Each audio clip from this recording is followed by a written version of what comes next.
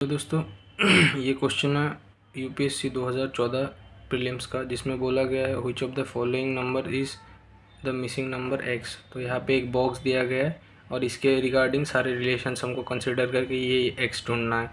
तो हम लोग ये ऐसे भी कर सकते हैं, ऐसे भी कर सकते हैं। बहुत सारे रूल्स होते हैं इसके। तो मैं आपको इसका सोल्यूशन करके बताता हूँ। तो पहले हम लोग ये लाइन अगर देख ले तो उनतीस तेरह और अठारह। हम तीनों को अगर जोड़ दें तो कितना आता है? नौ, तीन, बारह और आठ। बारह और आठ करें तो बीस। दो, दूनी चार और एक, दो छः साठ हो गया। तीस, सत्ताईस और तीन। इनको जोड़ दिया तो हो गया सत्ताईस और तीन हो गया तीस। तीस प्लस तीस दैट मीन्स साठ। और अभी रह गया ये वाला।